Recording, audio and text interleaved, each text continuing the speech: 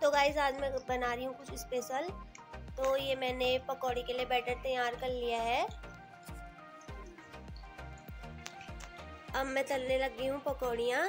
तो बने रहिएगा मेरे ब्लॉग में, देखिएगा मैं क्या बनाती हूँ आज। तो गाइज़ फाइनली पकौड़ी बन के हो गए हैं तैयार। अब जिस बर्तन में मैंने पकौड़ी के लिए बैटर तैयार किया था, उसी बर्तन में मैं डालूँगी मट्ठा इसमें थोड़ा सा बेसन और बचा है इसी में डालूँगी मैं। तो गाइस अब मैंने इसमें मिला लिया है घर का प्योर मट्ठा। मैं इसमें हल्का सा बेसन और मिलाऊँगी क्योंकि थोड़ा सा बेसन था। और इसमें मसाले भी ऐड करूँगी। तो गाइस मैंने इतना सा बेसन मिला रखा है। ज़्यादा गाढ़ा भी नहीं बनाना है। अब मैं इसमें ऐड करूँगी मसाले।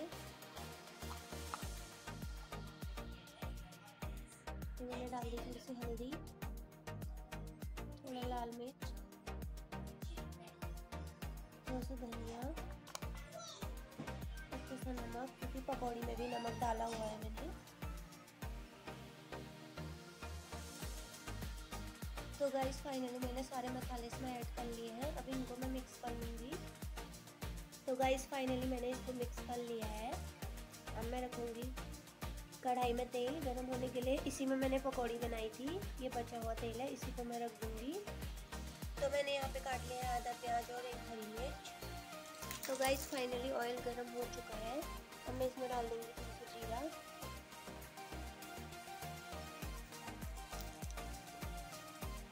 अब मैं इसमें ऐड कर दूँगी कटा हुआ प्याज और हरी मिर्च।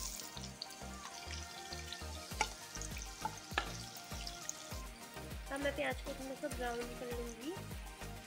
तो फाइनली प्याज हो गया है ब्राउन अब मैं इसमें ऐड कर दूँगी ये बैटर जो मैंने तैयार किया है।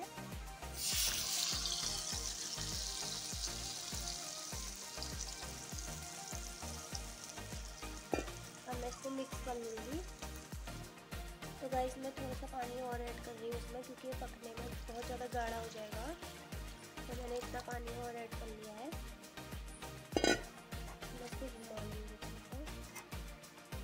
मैं इसको दोबारा लगूँगी तो गाइस फाइनली ये बन चुका है। अब मैं इसमें डालूँगी पकौड़ी और थोड़ा सा और पकाऊँगी उसके बाद। मैंने इसमें पकौड़ी मिक्स कर दिए हैं। हल्का सा और पकने दूँगी मैं इसको। उसके बाद ये बन के बिल्कुल रेडी हो जाएगा। थोड़े से पकौड़े मैंने चाय के साथ खाने के लिए बचा दिए हैं। तो गाइस फाइनली हमारा खाना हो गया है तैयार। पकौड़ी की झोली। किस किस को पसंद है कमेंट बॉक्स में ज़रूर बताइएगा।